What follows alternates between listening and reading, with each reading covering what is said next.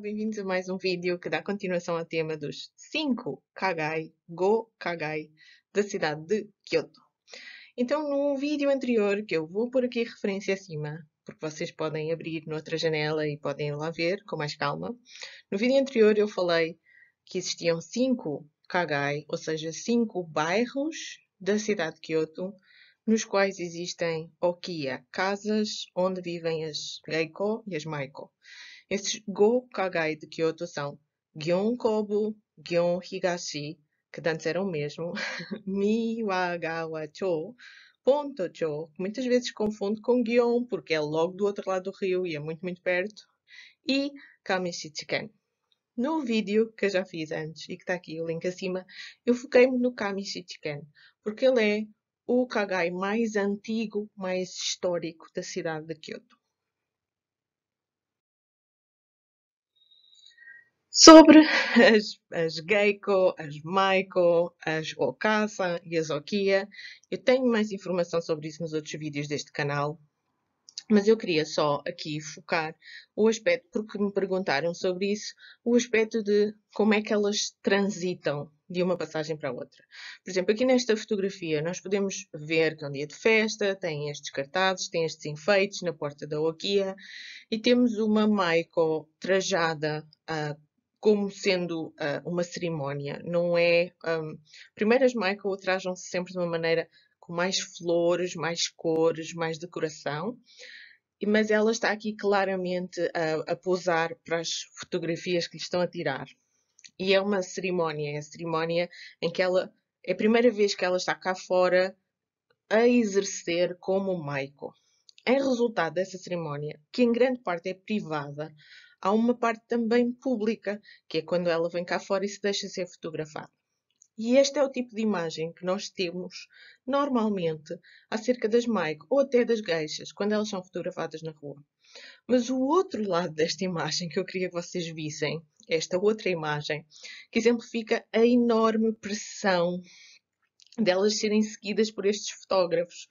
Alguns são fotógrafos profissionais, têm estúdios, outros são fotógrafos amadores e também ainda mais a outra camada, que é a camada do turista.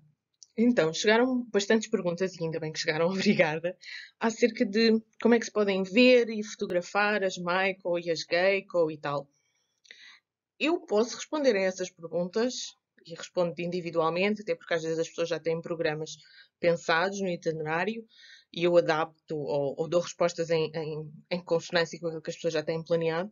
Mas aquilo que eu queria mesmo, mesmo deixar como mais importante é que vocês pensem que estas, estas jovens estão a trabalhar ou estão numa cerimónia importante elas fazem a gentileza de pousar para as fotografias, mas não as persigam, porque elas sentem muita, muita pressão destes fotógrafos, sejam eles amadores ou profissionais ou até turistas, de pessoas que as perseguem na rua. Então, é aceitável se vocês as virem, como estava aqui na imagem anterior, elas paradas à porta da Okia, porque há qualquer coisa que está a acontecer ou porque elas estão a sair pela primeira vez à rua como Michael ou como Geiko, é aceitável vocês juntarem-se a todos os outros fotógrafos que estão ali e tirarem-lhe a fotografia. Porque ela está à espera que isso aconteça nesse contexto. Mas num contexto em que ela está a andar na rua, não tentem tirar fotografias ou andar atrás delas, ou fazê-las parar de propósito, porque elas estão em cima destas socas gigantescas e é muito fácil torcer um tornozelo e depois ficarem sem trabalhar durante seis meses. Um, então, isto, este tipo de acidentes acontecem por causa das, das pressões das fotografias e eu queria deixar aqui o aviso que tenham isso em conta. Elas têm muitas outras coisas para fazer para além de serem fotografadas. E quando são fotografadas, normalmente as pessoas pagam para as fotografar, ou em estúdio, ou fora da Okia, ou dentro da Okia. Em ocasiões muito especiais, como esta aqui, elas deixam-se fotografar na rua. E até pousam, e até fazem uma vénia, e estão ali um bocadinho mais paradinhos. Mas respeitem quando essas ocasiões existem, comportem-se como os outros japoneses que se estão a comportar nessa ocasião, mas de resto, não andem atrás delas, porque realmente não é só mal educado, é perigoso e é desrespeitoso. Então, esta, esta cerimónia, um, e era disto que eu queria falar, esta cerimónia chama-se Misedashi. O Misedashi é a cerimónia através do qual a jovem se torna uma Maiko. E no Misedashi elas têm um kimono especial, elas têm uma maquilhagem especial. Por exemplo, a característica da maquilhagem da Maiko no Misedashi que ela só pinte de vermelho o lábio inferior e não o superior. E durante algum tempo a seguir, durante os primeiros meses em que ela é Maiko, ela só tem o lábio inferior pintado. No Misedashi também é costume utilizarem uns enfeites no cabelo que são um bocadinho diferentes dos kanzashi normais e que normalmente são feitos ou com materiais semi-preciosos ou, neste caso, com autêntica carapaça de tartaruga, que é, um, que é um produto natural, que é muito difícil de moldar, tem que ser moldado a calor e são espécies que em vias de extinção, portanto estas peças, a maior parte delas são antiguidades, porque já nem se podem fazer peças novas. Um, então toda, toda a decoração do cabelo dela e a maquilhagem dela e o kimono uh, fazem com que a pessoa que já está mais entendida nos códigos de como é que a geisha se apresenta, saibam que esta é uma menina que se está a apresentar à, à comunidade, como agora vou iniciar a minha carreira como geisha. E este é outro aspecto. No Misedash elas estão muito entusiasmadas, é uma parte importante da vida delas, mas também estão um bocadinho nervosas, claro, uh, expectantes, um, e são meninas. Algumas delas até têm menos de 18 anos, depende um bocado quando é que entraram para a Okia. Uh, o treino na Okia pode ser 4 a 5 anos, depende de quando é que entraram e como é que foi o treino delas. Mas elas são muito jovens. Apesar de terem esta maquilhagem toda e toda esta parafernália e terem uma grande maturidade emocional e intelectual por causa do treino que receberam, mas elas são meninas, então tratem-nas com cuidado. Nunca é demais frisar isso. Então, como é que é o percurso que leva ao Misedashi? Um, primeiro, elas são shikomi. Shikomi é literalmente aprendiz. É quando já vive na Okia, mas basicamente faz tudo. Limpa, arruma, ajuda as irmãs mais velhas com a maquilhagem, um, trata dos tecidos dos kimonos, areja os colchões, anda por ali e percebe como é que a Okia funciona. Isto não é só ser uma empregada da Okia, ser uma interna da Okia, ser uma Shikomi é extremamente importante porque ela percebe que a vida de todas elas está relacionada e que o funcionamento da Oakia é uma máquina bem oleada e o trabalho de toda a gente é precioso. E elas aprendem a respeitar o trabalho de toda a gente envolvida e, e os mecanismos internos de como é que se gera a Oakia e, e todo, todo o estilo de vida das e das Maiko. Depois, ela passa por um curto período de tempo em que se chama Miranai, porque já está nas vésperas de ser debut, de, ser, de se estrear na, nesta carreira. Então é mesmo antes do Misedashi, ela é Miranai. Algumas coisas que ela ainda pode fazer, como a Shikomi, é, por exemplo, andar na rua a segurar a sombrinha um, de uma Maiko ou de uma Geiko e começar a aprender os percursos e, sobretudo, observar como é que a outra se comporta na rua, como é que caminha, como é que sorri, como é que lida com as fotografias tudo, tudo na sua vida é aprendizagem. Basicamente, ela está exposta a estas coisas para estar constantemente a aprender. Se vocês tiverem mais questões sobre a vida privada das Michael e das gays, e porque esta parte foi responder a questões ou, ou comentários diretos, escrevam aqui nos comentários um, ou mandem e-mail para o e-mail que também está descrito na caixa deste, deste vídeo, porque é sempre mais interessante para mim responder diretamente às vossas questões e aos vossos comentários, porque eu tenho muito para dizer, mas quero focá-lo naquilo que vocês querem saber. Então, escrevam aqui e eu depois dou resposta. Então, no vídeo anterior eu falei mais do Kamishitsuken, ah, que é ao lado do Kitano Temango, e hoje vou falar mais da zona de Gion. Gion tem dois Kagai, chamados Gion, e depois ainda tem um outro do outro lado do rio, que é o Pontocho. O Gion Kobu e o Gion Higashi, hoje em dia, eles são diferentes. No entanto, eles costumavam ser o mesmo Kagai, até 1873. E tenho aqui ao lado um mapa dessa zona, que é a zona este da cidade de Kyoto, a zona oriental da cidade de Kyoto. A cidade de Kyoto tem um centro muito plano, e depois, na zona este e na zona oeste, mas sobretudo na zona este, tem montanhas. Então, o bairro de Guion é imediatamente antes das montanhas da zona este, é mesmo o final da zona plana, e depois no próprio Yasaka Shrine, ou Santuário de Yasaka, porque o bairro de Guion é a parte à frente do Santuário de Yasaka, tal como, mais ou menos, tal como o Kamishichiken estava para o Kitano Temango, o Guion está para o Yasaka. Em termos de, é à frente do Santuário de Yasaka e Tal como no Kamishichiken, as Geiko e as Michael faziam muitas cerimónias dentro do Kitano Temango, as de Gion, Kobo ou Higashi fazem muitas cerimónias dentro do Yasaka. Portanto, eh, um está como o outro. Estão a ver? Podemos fazer esse paralelo. Não é, não é pelos mesmos motivos, mas podemos fazer esse paralelo. Um, então, o Yasaka Shrine já é numa colina e ele já começa a subir, mas atrás dele é que se sobe mesmo mais e depois a colina do Kiyomizu-dera e tal. Portanto, esta é uma zona em que ainda se caminha muito bem, ainda é muito plano. O Guion tem muitos, muitos, muitos restaurantes, eh, bares, eh, casas de chá, etc.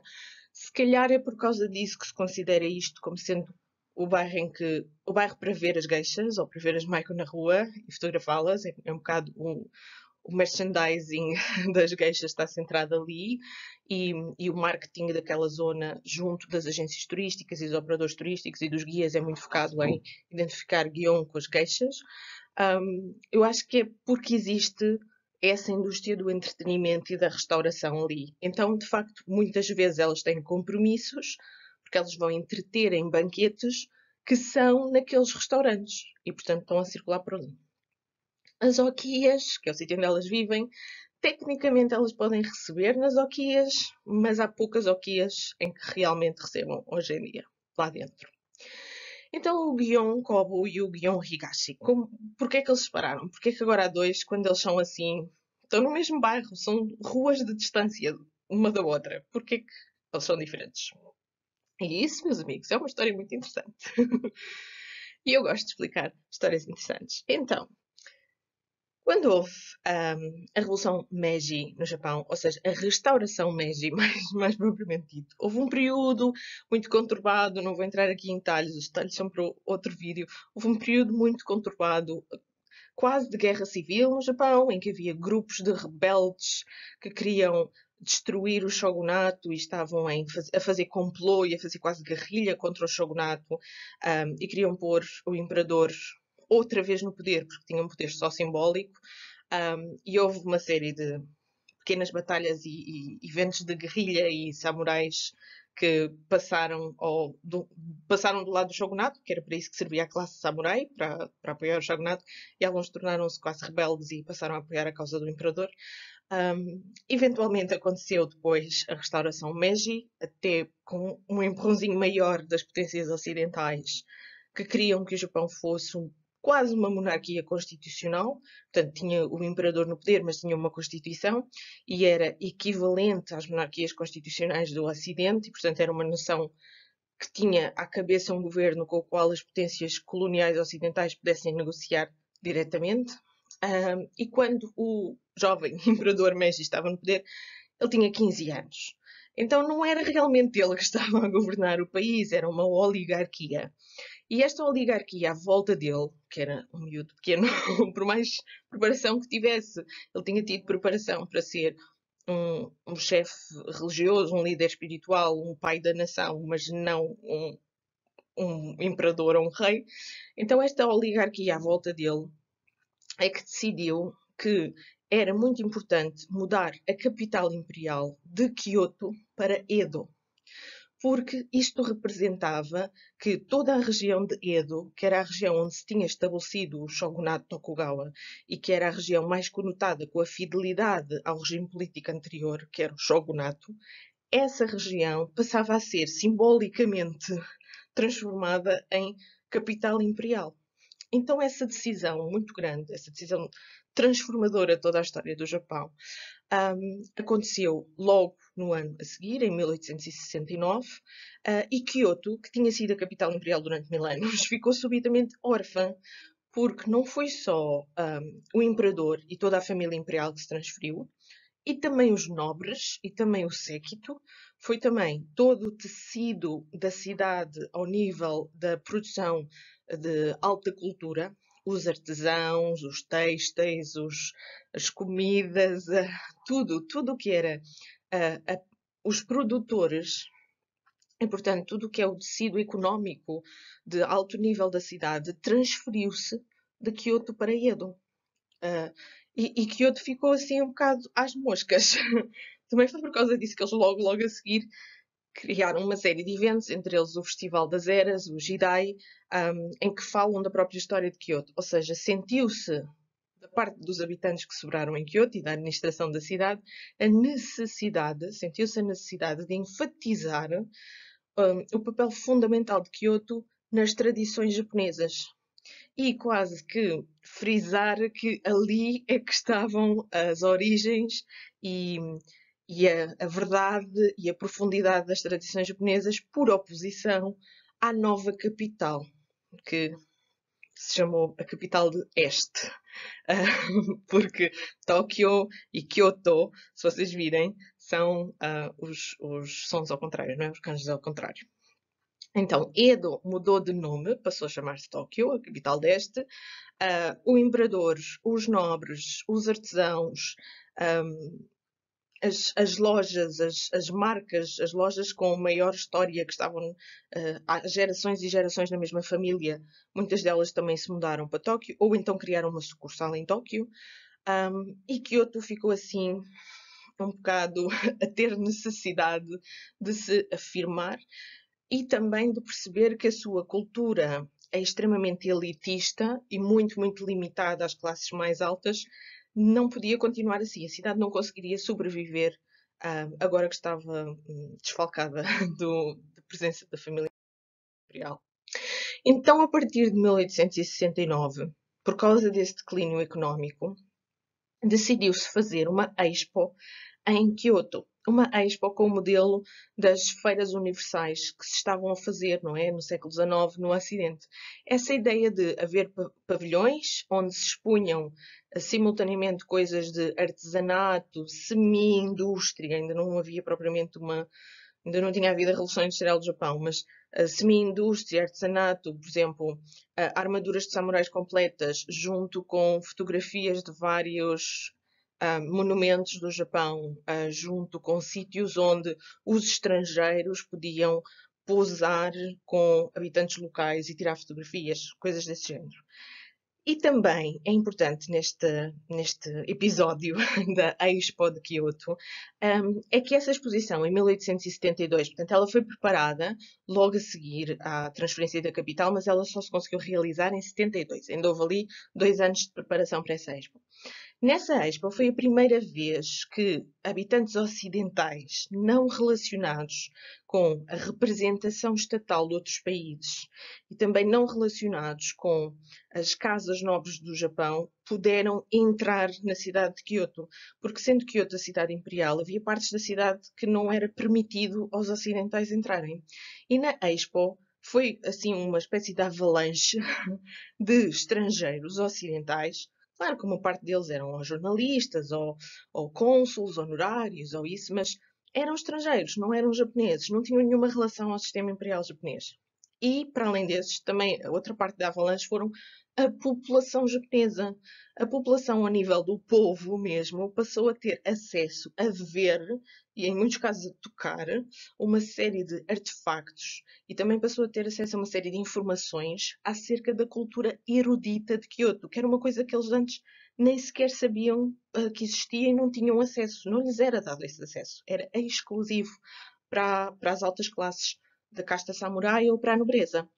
Então, esta exposição de 1872, que durou meses, durou quase o ano inteiro, ela fez com que Kyoto provasse que tinha perdido o status de capital, mas que continuava a ter a superioridade no que toca ao património cultural e mostrá-lo ao resto dos japoneses e aos estrangeiros que, entretanto, estavam no Japão e finalmente passaram a poder entrar em Kyoto. E esta Expo foi um evento super, super importante. Encontrei aqui uma gravura, claro, de origem europeia, consegue perceber pelo estilo da gravura, para vocês perceberem o ambiente, não é? As pessoas tinham estas tinham estes balcões e tinham um percurso que, que, iam percorrendo e iam observando as coisas que estavam neste balcão. Nós conseguimos ver ali Mon, ou seja, a heráldica das várias casas, das várias famílias japonesas, junto com armaduras de samurai, como disse, e uma série de um, pequenas peças de cerâmica, pequenas peças decorativas, e pessoas tanto japoneses como ocidentais a movimentarem-se ali, a olharem para aquilo tudo. Muitos deles estariam certamente a tirar apontamentos para depois fazerem gravuras como estas. Portanto, é o Japão em exposição para ele próprio e para o estrangeiro. Há quase como uma reinvenção do que é que é a cidade de Kyoto através da maneira como se conta a história da cidade de Kyoto nesta Expo. Então, quando houve esta Expo, em 1872, foi convocada uma mestre de dança que se chamava Yachiko Inoue, Inoue e a Inoue ainda é, hoje em dia, em 2021, a mais conceituada escola de danças tradicionais japonesas de Kyoto. Vocês vão encontrar, se quiserem pôr Inoue School of Dance, sei lá, no YouTube ou no Google, vocês vão encontrar imensas coreografias, imensos espetáculos preparados pela Inoue School of Dance. Ela existia desde que o shogunato Tokugawa existia, uh, tinha sede em Kyoto e era considerada um, a, a, escola de dança mais prestigiada da cidade. Os mestres dessa escola de dança eram sempre da mesma família, da família Inoue. E hoje em dia ainda são, porque essa é uma característica do Japão. As, pessoas perguntam: ah, desde, desde quando é que existe este restaurante? Ou desde quando é que existe esta, esta escola de caligrafia? E as pessoas dizem: hum, mais ou menos há 1200 anos.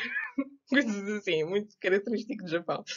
Então, um, esta escola, e particularmente a coreógrafa Yachio Inoue, só treinava as melhores um, Geiko e Maiko da cidade e foi convocada para fazer uma coisa que não, não existia no sistema antigo, não é? Em que Kyoto era a capital imperial, para fazer essa, essa coisa nova que era uma coreografia de palco, para mostrar a toda a gente. Porque as Geiko e as Maiko só atuavam assim publicamente em coisas como cerimónias religiosas, como eu disse no outro vídeo, por exemplo, as de Kamishichiken iam ao Kitano Temango durante a floração das ameixeiras e uh, faziam coisas lá no santuário, como cerimónias do chá ou dança em, nos palcos que existem dentro do recinto do santuário. E nessas ocasiões a população em geral podia vê-las. Mas de resto, Pagar para ter a companhia delas era caro e, mais do que caro, era exclusivo, porque as oquias não funcionam num regime de oferta e procura. Elas podem recusar clientes e normalmente recusavam. E poder ter o benefício de ser atendido, de ser entretido por maicos e geixas de, de, determinadas oquias dependia da, membership. Dependia se eram patronos ou não delas e se as oquias aceitavam. Então as pessoas não, não, não existia esta figura este, este esquema de espetáculo de palco, como se fosse nosso, o nosso conceito hoje em dia de show. Isto não existia. Então foi a primeira vez que se criou uma coreografia de dança para ela ser executada num palco e para ela entreter público em geral nesta exposição. E como a escola de dança Inoue fez essa coreografia e foi um grande sucesso, uh, elas uh, receberam essa, essa dança recebeu o privilégio de poder sugerir e ver implementada a sua sugestão acerca da maneira como se iam organizar os, uh, estes bairros de geisha em Kyoto. E como eles eram de Gion, o que eles disseram era para. O que eles decidiram foi para ter o melhor nível possível das Geiko e das Maiko, nós devemos subdividir o bairro de Gion em vários. Inicialmente a sugestão até era serem oito. Um, e devemos promover um, um estudo e uma dedicação tal das danças tradicionais que, através da competição dessas várias partes, se consiga atingir a perfeição, porque todos eles esforçam mais e porque há sempre um primeiro lugar e os outros a quererem ir lá buscar e tirar o primeiro lugar daqueles para ficar para eles. Portanto, é a excelência através um, através da competição, que é uma característica, se nós quisermos, muito uh, japonesa, muito semelhante às, à lógica das artes marciais, não é? Competir e definir-se qual é o melhor através da competição. Não, não, se implementou completamente este tema, mas de facto houve uma, ou esta, esta ideia, mas de facto houve uma divisão do bairro de Guion e isso foi a origem da cisão do bairro de Guion em partes diferentes, que depois competiam por serem os, o mais perfeitos possíveis em diversas coisas. Na dança, no canto, na cerimónia de chá, etc. Long story short, passado estas centenas todas de ano, Um, as outras partes de Guion voltaram a aglutinar-se, mas houve esta, esta separação entre Kobu e Higashi que nunca se voltou a aglutinar. Então, Gion Kobu e Gion Higashi continuaram separados em consequência disto até o dia de hoje.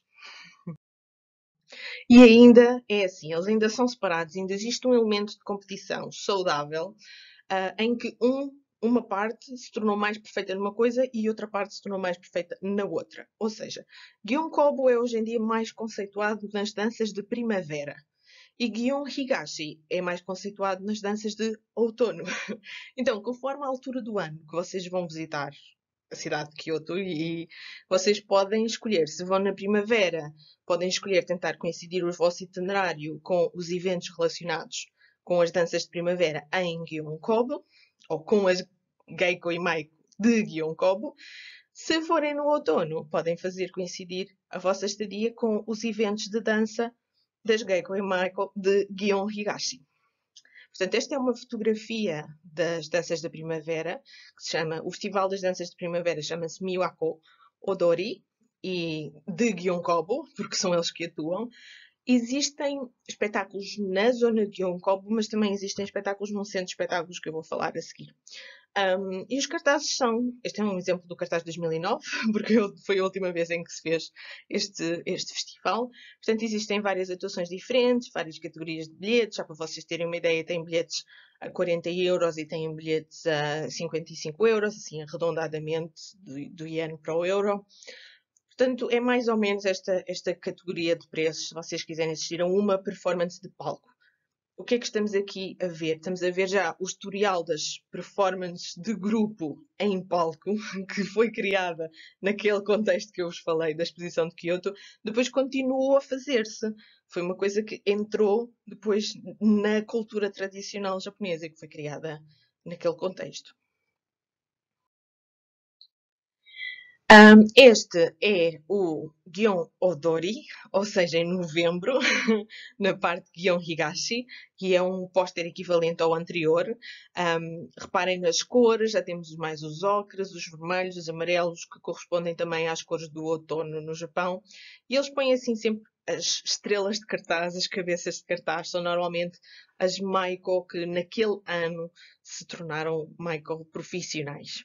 Então é uma oportunidade de as verem a todas a dançar em palco ao mesmo tempo.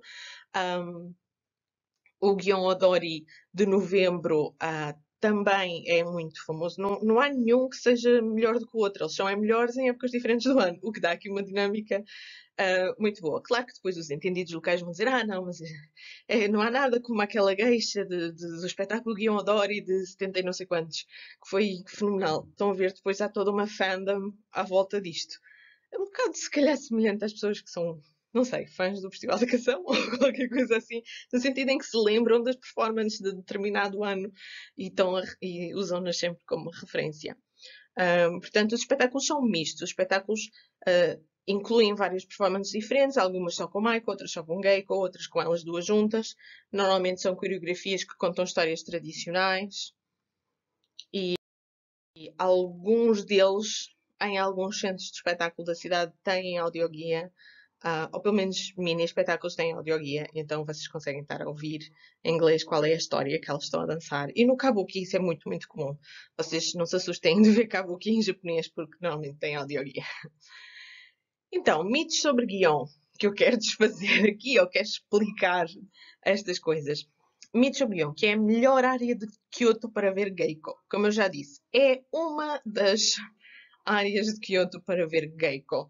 Se é melhor ou pior depende de muitos outros fatores. Uma época do ano. Claro, se vocês passarem lá durante o Miwako Odori ou o Gion Odori, que são os festivais, claro que vocês as vão ver na rua, porque elas estão a circular para irem a estas performances. Mas se vocês forem noutras alturas do ano, não. Portanto, é preciso saber quando é que acontecem os festivais. É por isso que eu existo. um, portanto, há uma verdade, mas é, não é a única área para ver uh, Kyoto e uh, Michael e Geiko em Kyoto e existe esta, esta condição de calendário. Depois outro mito, que é a melhor área de Kyoto para ir jantar fora, ou ir a bares, porque há muitos naquela zona. Este eu acho, pessoalmente, que é falso. É a minha opinião. Como pessoa que anda por lá e que conhece pessoas que vão lá e que passa muito tempo lá quando a deixam entrar no Japão, agora não, porque tem as fronteiras fechadas. Mas eu acho que não é a melhor área de Kyoto para jantar fora. Acho que a relação qualidade-preço não é das melhores, é muito, muito caro.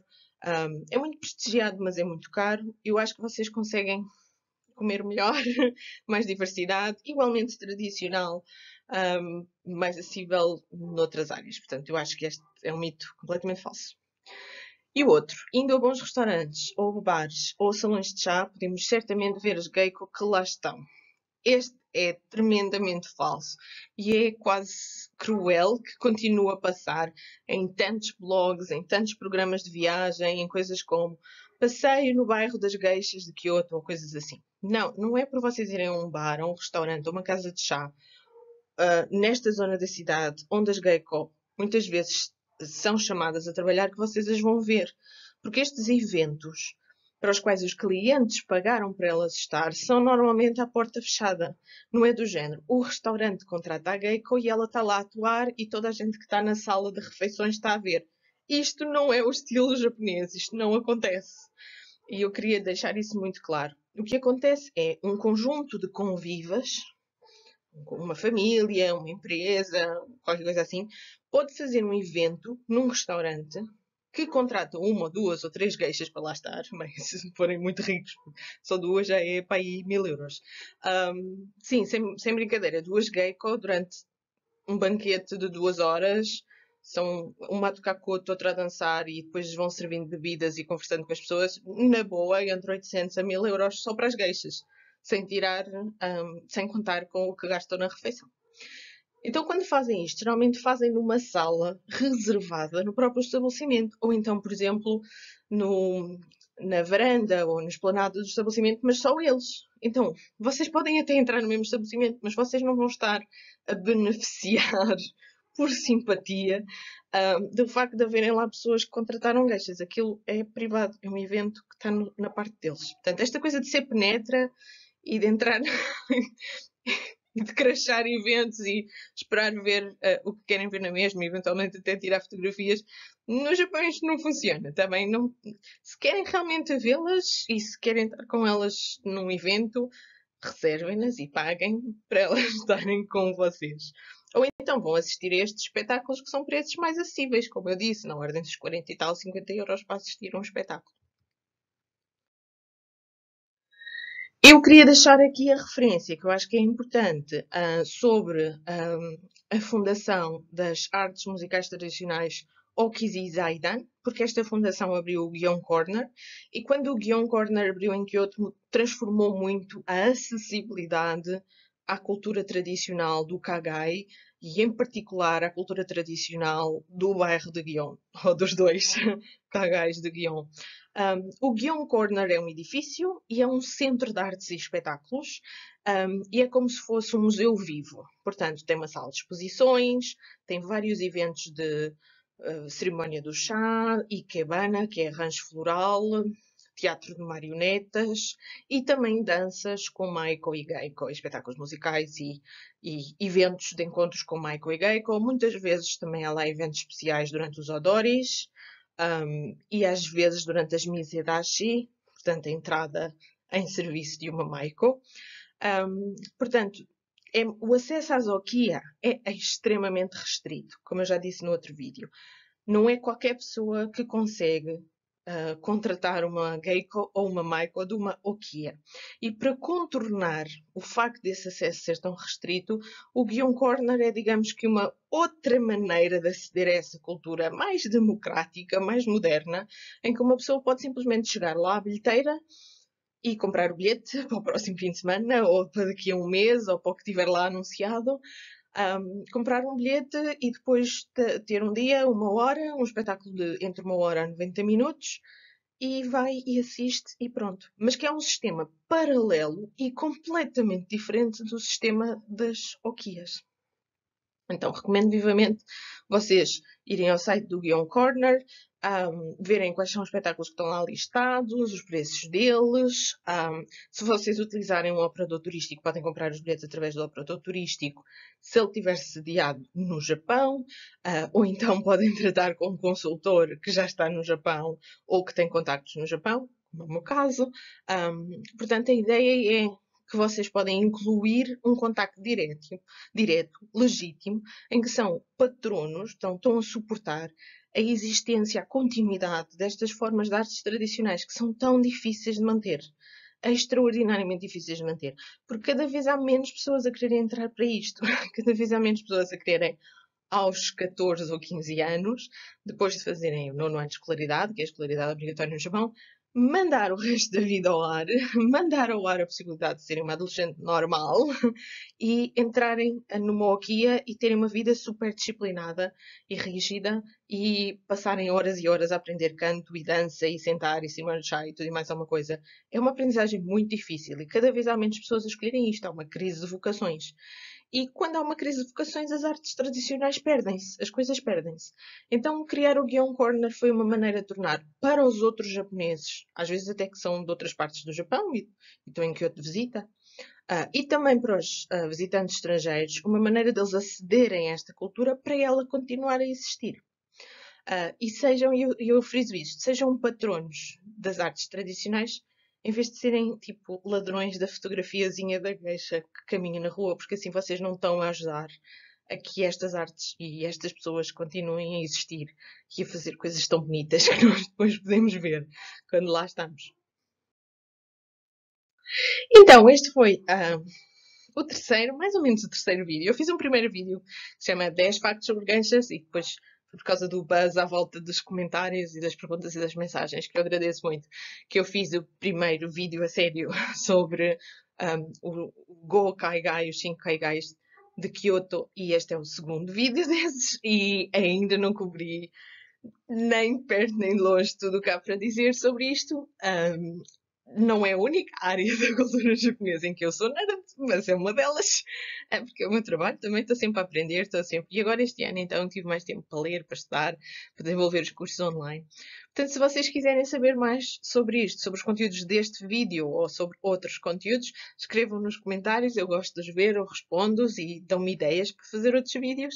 Um, e façam deste canal a vossa porta, a vossa ponte para o Japão. Eu estou aqui para vos esclarecer. E muito obrigada por terem visto mais uma vez. Até ao próximo vídeo.